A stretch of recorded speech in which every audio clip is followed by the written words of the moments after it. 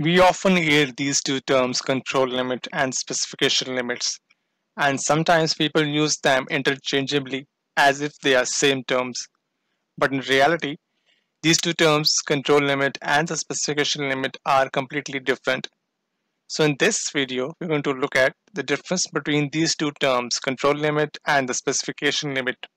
So don't skip any section of this video and watch the video till the end.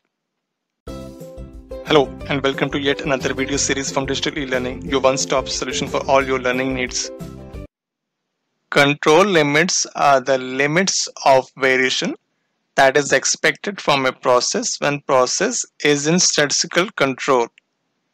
So when we say statistical control, it means that the only the common cause of variation exists and no special cause of variation is present. Such processes generally show consistency in their performance over the period of time. And any variation that occurs, say for example in this case the dotted line and it crosses the upper control limit and the lower control limit indicates the special cause of variation. And when it, it stays within these two limits shows the common cause of variation. So control limits are calculated from a process itself because control limits show how the process is performing. They also refer to as the voice of process. There are mainly two types of control limit, upper control limit and the lower control limit, which are calculated using mean and the standard deviation. Upper control limit is mean plus 3 times the standard deviation and lower control limit is mean minus 3 times the standard deviation. Sometimes when we calculate the limits, the lower control limit might come to a negative value. In such a case, we take it as 0 because there is no point going beyond 0.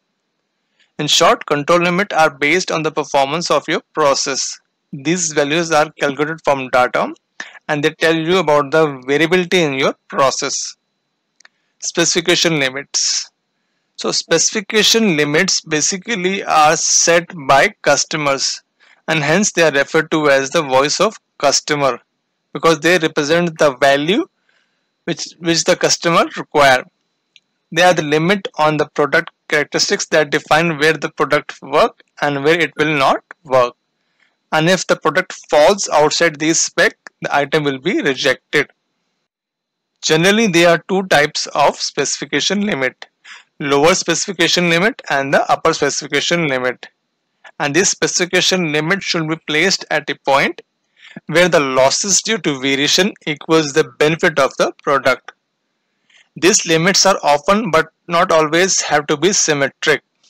So if your part falls within upper specification or lower specification limit, part will be meeting your customer expectation. But if it falls outside this range, it will be rejected. Specification limit are used to determine the process capability and the sigma value. Let us understand all these concepts, control limit and specification with help from some graphs. So we'll first create the specification limit which is also known as the customer expectation or the voice of customer. Then we'll create this process which is a normal distribution process and we set our up lower specification limit and the upper specification limit anything beyond this red lines is a defective part and then we define our upper control limit and the lower control limit which we call it as the voice of process or process variation. Control limits have no relation to specification limit. Let us understand this with the help of a car parking. So when you are trying to park your car in a garage, there are three possible scenarios. Case 1. When control limit falls within the specification limit. Think in this case the walls of a garage as your specification limit which is defined by customer. So if your control limits fall within the specification limit, it does not matter if you park the car in the middle, it will always fit and you have plenty of room on either side. That is one of the reasons the Six Sigma philosophy of focus on removing variation in the process. This is probably the best design a process can have. Let's, let's take another case when the specification limit coincides with your upper control limit. In this case, your car will only have little bits will be smaller than the garage, but you can still better park it right in the middle of the garage or center of the specification if you want to get your car into the garage. This is the least probable case because in this case you're almost on the edge of specification limit. Third case, so when specification limit falls between the control limit, that means your car is too wide for a garage and nothing you can do to center the process will help you. You have to change the dispersion of a process. That means make the car smaller in this case. So when control limit exceeds the specification limit, just like in this case, that means some part of the process will be functioning outside the specification range.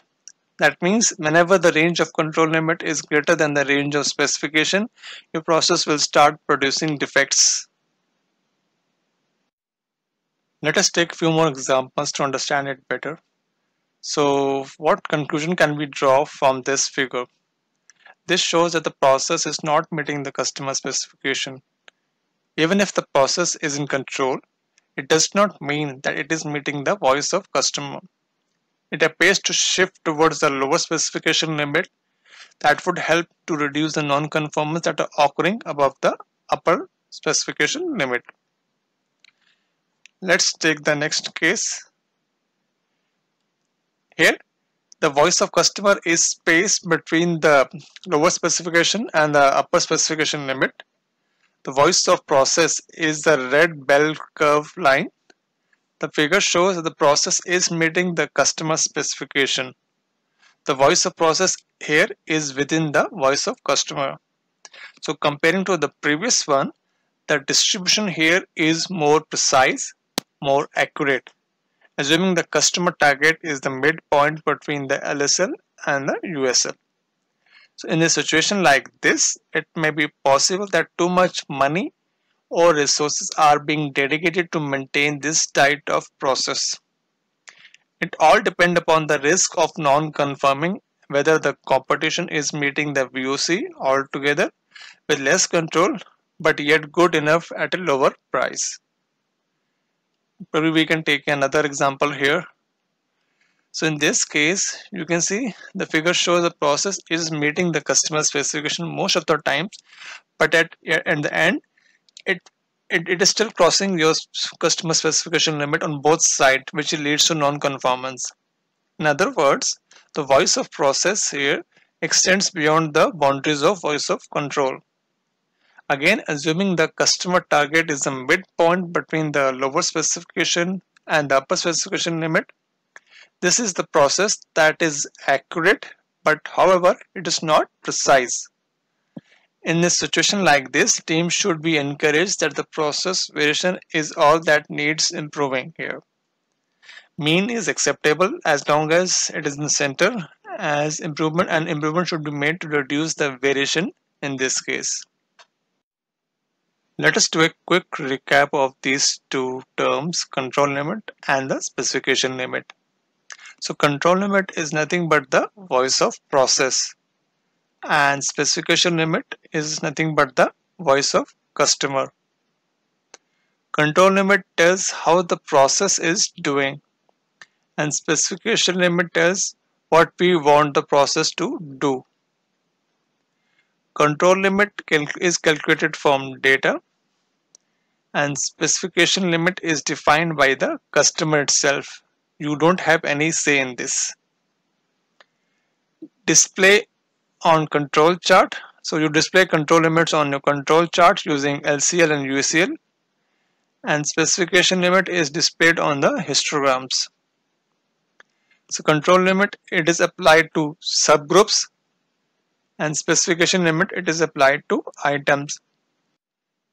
Control limit it guides for the process action and specification limit is basically separate the good part from bad part. Now, I think with this, now you can easily identify the difference between these two terms, control limit and the specification limit. So that is all I have on this video. See you soon in my next video. Now you can follow digital e-learning on all the social media platforms like Instagram, YouTube, Twitter, and for our regular updates, you can join our Facebook and LinkedIn groups. I will share the link for all these in my description below. Thanks for watching Digital e-learning. I hope you like this video. Don't forget to like and share this video with all your friends on all the social media platforms.